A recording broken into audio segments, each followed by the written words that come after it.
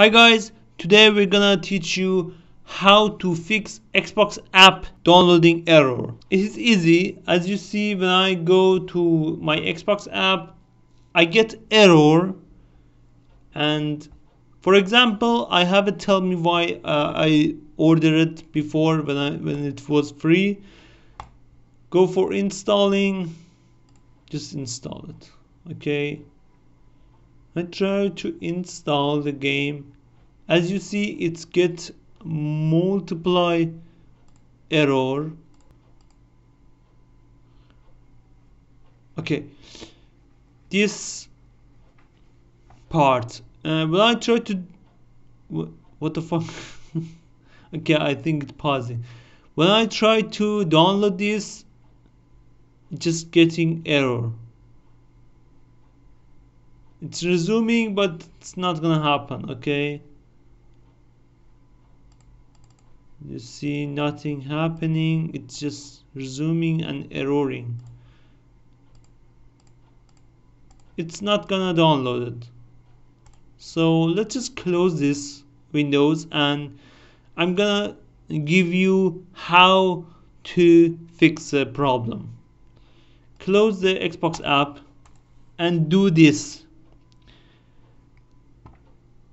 better way to go for search on Windows and uh, search for run this. Or maybe you can combine two uh, keyboard button combine two key Windows and R. This is a shortcut but if you don't know how to use it you just search for run search this word gp edit dot msc okay? Run it. This this windows will appear. On local computer policy go for administrative template on computer configuration goes when I when open this goes for Windows components then find delivery optimization. Okay? On download mode in delivery optimization double click it. You see this windows okay? Change this for me was that okay? Change it to internet then apply ok close this and get back to the Xbox app.